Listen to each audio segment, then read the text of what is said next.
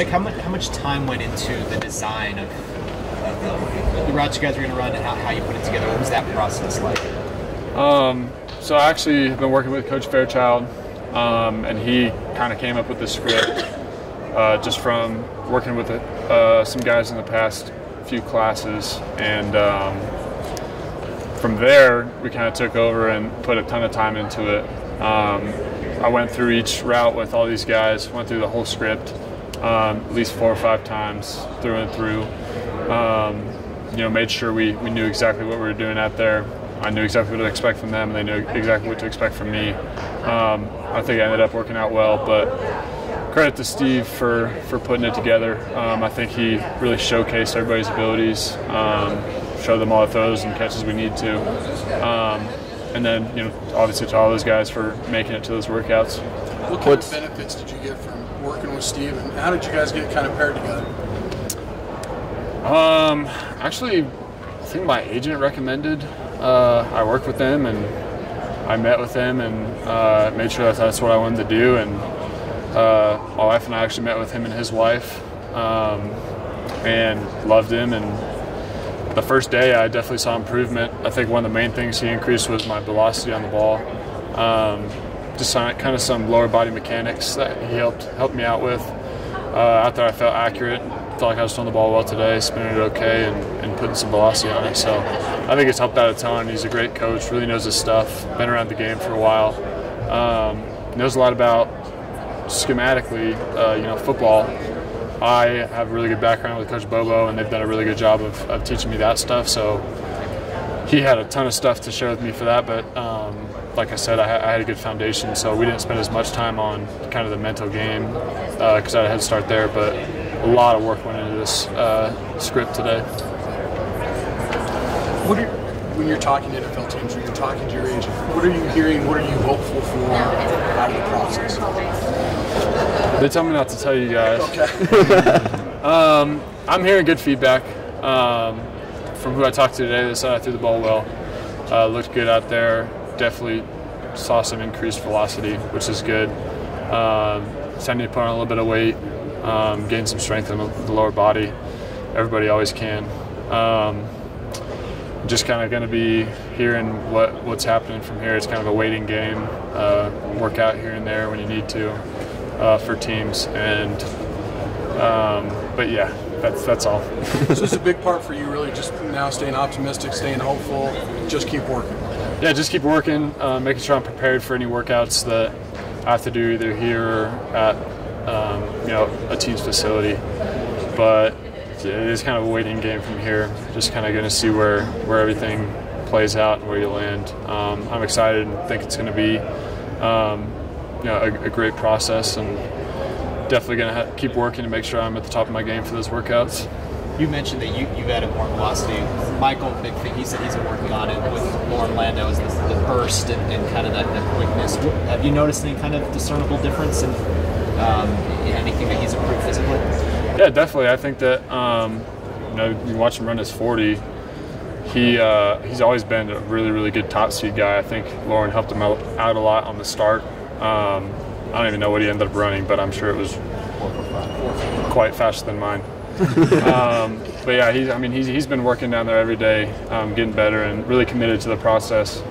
Um, and I, th- I, think it showed in, in, the numbers both at the combine and here today.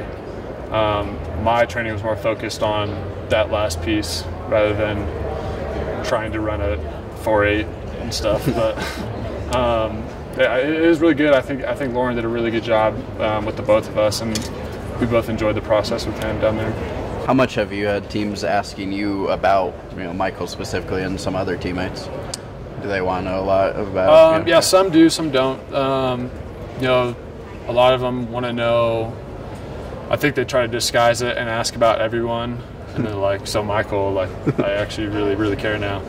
Um, but I mean, not not every team um, asked me, and I'm, I'm, sure they they figured it out eventually. But um, you know, his film and ability to speak for themselves, and he's a freak, and you can see it just by looking at him. So it's just kind of fun for you guys to have one last day today, or yeah, know. definitely. I mean, we'll if they stay in town. I'm staying up here. If they stay in town, we'll star? rude. we'll uh, we'll work out uh, here and there and, and make sure we come out and throw the ball around a little bit just to stay um, you know in top form. But uh, it, you know it was one one last go around for, for the old days, so it was, it was cool. Did you get to meet with Rashard Higgins at all? Yeah, I actually so we went to we saw them at um, Longhorn Steakhouse last night. Him and Trey, um, Hollywood. Yeah, it was, it was cool. I mean, really good to see him back. I saw that he did an interview with Mike, and two of them in the same room is pretty neat. Um, be cool to see that on the field someday. But yeah, um, it's really cool that he came back and, and supported us today. Did you get everything that you had hoped for out of today and, and the days leading up to today? Um, hope for a couple more inches on the vertical, but uh, I felt really, really good about everything else. Um, felt like I threw the ball well. My other like tests um, were good. Um, hope for probably a few more completions, but uh, it is, it is what it is. I think we all, for the most part, look look good out there. So that's all you can really ask for. And for now, just just keep working out. Just work work on football stuff instead of working for training for these Olympics. Yeah, so now so now it's going to be more kind of fine tuning my craft throwing the ball, uh, be able to put a little bit more weight on and lift more instead of yeah working on starts and 40s and L drill and shuttle stuff. Um, doesn't matter a ton for for my position. Uh, I'll still obviously try to stay as quick as I can, but um, yeah, it's going to be more trying to put on a little bit of weight, gain some strength, and then continue to improve uh, throwing the ball around. I mean, everyone has knows what you can do on tape. Everyone knows what you can do. on football. It's just now is it more just working on the mental side of it when you get those interviews with other teams? Just focus on that side. If they drop a play, and is that kind of things you got to work on too?